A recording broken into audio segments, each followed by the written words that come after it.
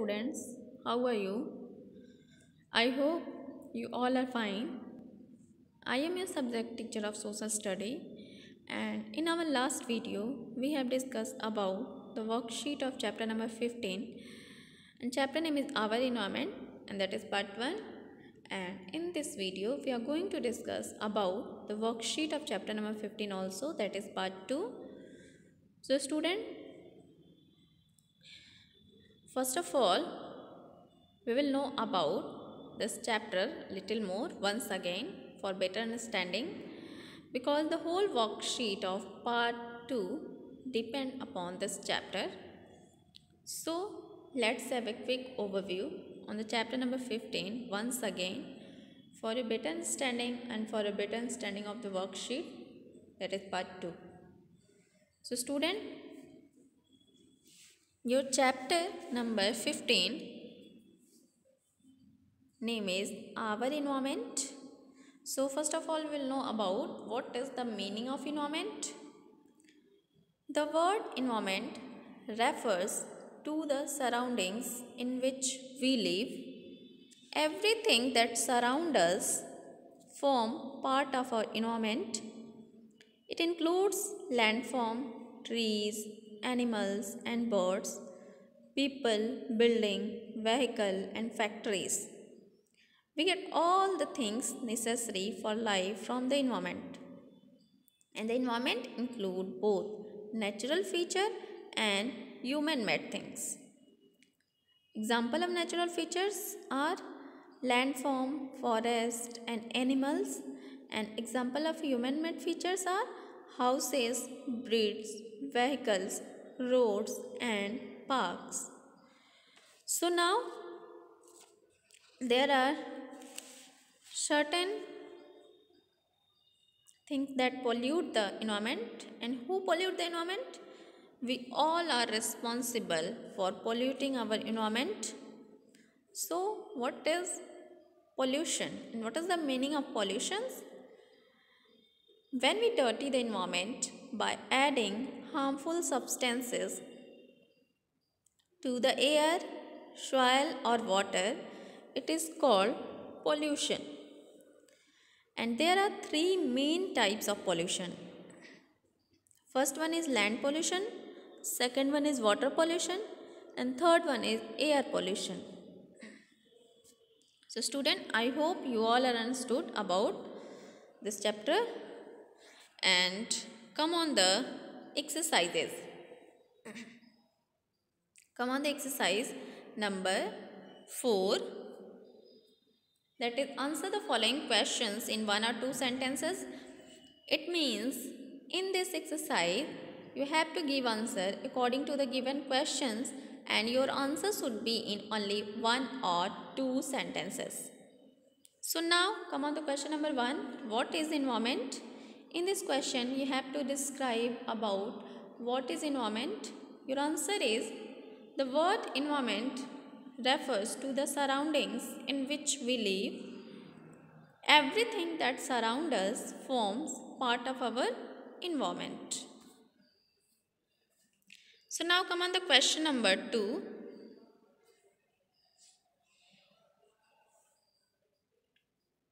Your question number 2 is what is pollution and what are the three main types of pollution? It means in this question you have to describe about pollution. First of all you have to describe about the pollution and the three main type of pollution. The answer is when we dirty the environment by adding harmful substances to the air, soil or water it is called pollution. And the types of pollutions are the three main types of pollutions are as follow First one is air pollution, second one is water pollution and third one is soil pollution. So now come on the next page. You look at question number 3. Your question number 3 is what is waste? So in this question you have to describe about the waste. Your answer is the things we throw away because we do not need them anymore that is garbage. It's called waste. Look at this fourth questions. Your fourth question is Why is cutting down of trees bad for the environment? Your answer is The cutting down of trees bad for the environment because it reduce it reduce the amount of oxygen in the air. The student, the cutting of trees bad for the environment because it reduce the amount of oxygen in the air and because tree gives us oxygen Come on the next exercise that is exercise 5. Answer the following question in a paragraph. So student you have to give answer according to the given question and your answer should be in a paragraph. So look at the question number 1. Your question number 1 is why is it important to pay attention to every part of the environment? Give an example to show how everything in the environment is interconnected. Your answer is everything in the environment is interconnected. Everything which is available in our environment is interconnected. That is why it is important to take care of every part of our environment if one part is disturbed or damaged, if one part is disturbed or damaged, the other part also get affected. The student, everything in the environment is interconnected. That is why it is important to take care of every part of our environment.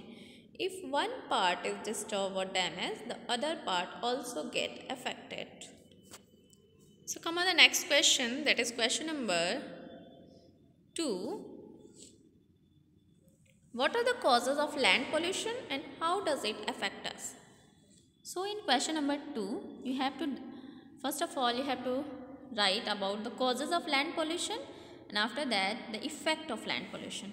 Your answer is land pollution is caused by first deforestation or the cutting down of forests Second, the uses of fertilizers by farmers. Third, mining the land for minerals. Fourth, overflow of untreated sewage. And five, garbage and human waste. Now look at the effect of land pollution. It destroys the soil. As a result, the soil can no longer be used to grow crops. It also makes the soil poisonous. So look at the question number 3. Your question number 3 is what is water pollution and what are its effects? In question number 3 you have to write about what is water pollution and what are its effects. Your answer is the dumping of waste and sewage into water create water pollutions. And effect of water pollutions are First, polluted water can harm the animals living in it. Second, water pollution also causes disease like cholera and dysentery in human beings. Now look at the question number 4. Your question number 4 is How do car cars and factories cause air pollution and how will the planting of more trees help reduce air pollution? Your answer is when we burn petrol in car and coal in factories, the smoke that is released pollute the air. It also cause breathing problem and skin disease. And how will the planting of more trees help reduce the air pollution? Planting of more trees help to reduce air pollution because trees release oxygen into the air. Therefore, if we want clean air to breathe, we should plant and protect trees. Come on the question number 5. Question number 5 is Discuss some ways in which we can keep our environment safe and clean. So, in this question you have to describe about the some way by you can keep your environment safe and clean. Look at the answer. Your answer is there are some way by we can keep our environment safe and clean are as follow. First one is do not litter the street. So student we should not throw garbage anywhere. Second use both side of sheet of paper. Do not waste paper. Trees are cut to make paper. So student we should use the both side of a sheet of paper and we should not waste the paper. Third do not throw away waste paper, glass and plastic. These things can usually be reused and recycled. So student, we should not throw away the waste things because it can be reused and recycled. Look at the next that is fourth one. Instead of throwing away old cloth as waste, give them away to people who could use them. So student, we should not throw away the old cloth as a waste. We should give them to needy person. Look at the fifth. Plant tree. They help protect the environment.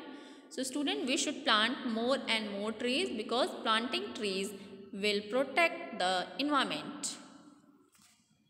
So, I hope you all understood about the exercises and you have to done the exercise 4 and 5 in your CW copy of social study and this is your today's homework. So that's all and thank you.